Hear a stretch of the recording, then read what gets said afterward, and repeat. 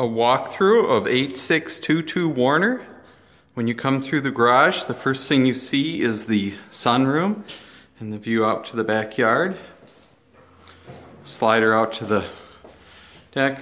Might as well take a look at the garage while we're here. Enormous three car garage.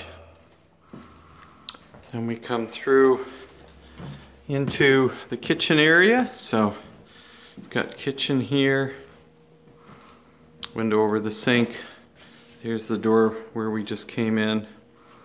And then the fireplace and the dining area. We've got a small half bath.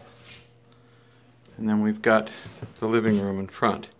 So there's two sliders there out to the deck, looking out toward the front yard. And there's also a fireplace, which is a see-through two-sided, so from the dining room to the front room.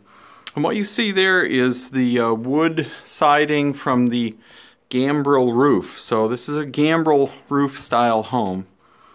So there's the stairway upstairs where we've got three bedrooms and a bath. And you can kind of see the angle of the wall there. That's the gambrel roof style. Upstairs, top of the stairs. To the right we've got main bedroom. So got a balcony overlooking the front yard. And then looking back this way, we've got the bedroom area. Then got full bath up here, tile surround. Again, the gambrel roof affects the shower area. And we've got bedroom number two and a window overlooking that three-car garage that we saw. And then also bedroom number three. And that is 8622 Warner Road.